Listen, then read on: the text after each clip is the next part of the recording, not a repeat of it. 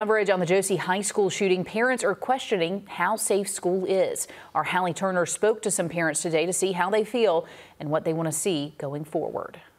Two parents share the same love for Augusta and the schools they grew up in, the same ones their children now attend. Josey's a good school. While they don't want the school system to get a bad name, I don't want all the students of Josey and, and Murphy to be labeled as bad children, as problem children, because every school has a child that they, they act up. We just wonder how somebody got the gun in the school. Wednesday's shooting made it clear changes need to be made. These things need to change with the metal detectors, and children do not need to bring weapons to school. On top of metal detectors for the students, they're asking for wellness programs. We need to offer more to the teachers as far as wellness programs, mental health, and I know they have counselors, but the schools need more budget. We checked, and per student, as of 2020, Richmond County receives more than $10,000 per student at Josey High School. Murphy Middle, where the fight started in the shared cafeteria, receives about $7,300 a student. And at Butler High, where a fight broke out, they receive a little more than $8,200 per student. And my children, when you see it look like it's about to go down, go the opposite direction. They say school leaders can't do it all, and it's a community effort to create a safe learning environment. Safety measures have to be first. In Augusta, Hallie Turner on your side.